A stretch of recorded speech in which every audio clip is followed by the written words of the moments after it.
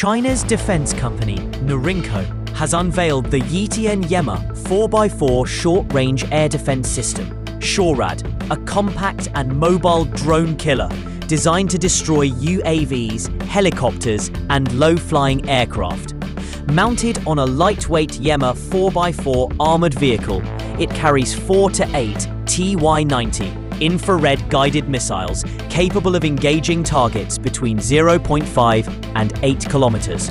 Supported by an X-band 3D radar and electro-optical tracking system for fast target detection and engagement within 6 to 8 seconds. Operated by a two-person crew, the Yitian Yema is built for networked, frontline air defense operations, offering quick deployment and high mobility. Norinco is marketing this system as a low-cost export solution for countries in Asia, Africa and Latin America, giving smaller militaries an affordable yet powerful anti-drone capability compared to expensive Western alternatives. This is Asian Defence and Tech News.